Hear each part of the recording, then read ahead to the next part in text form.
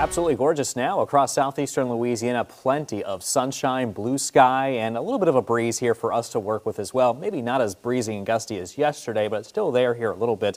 Let's show you the live satellite and radar last six hours. Uh, looking very clear, very calm here and widening out the picture across the Gulf Coast and including the Gulf of Mexico. That's where we find some of the clouds here interacting with the warmer sea surface temperatures and the cooler air here as well, producing some of those clouds that we see there to our south. Looking at drier air here in the upper levels of the atmosphere, that has produced all the sunshine we've been seeing lately, not to mention area of high pressure in control here too.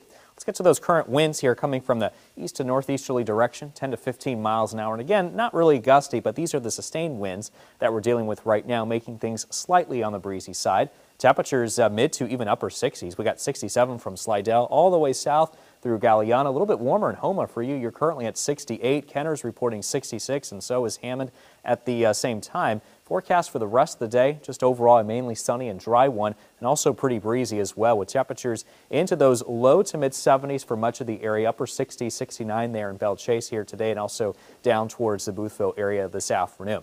If you're heading off to the Saints uh, versus Broncos game tonight at the Superdome at 7:15, that is kickoff, and by that point it will be clear as well. Still with temperatures at 66, a little bit cooler at 63 degrees by around halftime.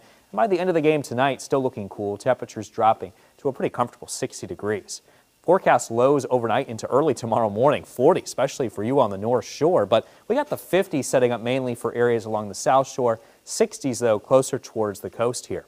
So let's talk about what's happening here in the atmosphere. So high pressure is going to continue to remain in place just off to our north. So we're still looking pretty mild here across much of the deep south here for us to deal with, including us southeast, including us here locally in southeastern Louisiana. So the clear skies are really just going to continue as long as high pressure is in place and in control of our weather. Maybe a few clouds begin to sneak in, sneak into the picture here as we head into the day tomorrow, and maybe even to Saturday here too. I don't think we're going to really see any rain as if anything, mainly stays offshore of us. We're just going to continue to remain under this, under this pattern that we've been in here uh, so far recently. Now, meanwhile, in the tropics, we're watching a couple of areas. The first one here is this broad area of low pressure near the uh, northern Leeward Islands. And we're also watching another system. It's another broad area of low pressure setting up here in the southwestern Caribbean Sea. National Hurricane Center is giving both of these systems a low chance of development. The one here in the eastern, or the, the one here approaching the Lesser Antilles has about a 30% chance of tropical development over the next seven days as it continues making its way towards the west. And also the one in the southwestern Caribbean Sea that has about a 20% chance of tropical development over the next seven days. And really, the computer forecast models are not overly excited about this. We'll see what happens, but right now, low chances of development overall. Your WDSU first warning seven day forecast showing that we got high temperatures into those uh, mid to even upper 70s throughout the weekend. Our high temperatures, though, will increase to the lower 80s as we get a change in the winds here coming up Monday through Wednesday of next week.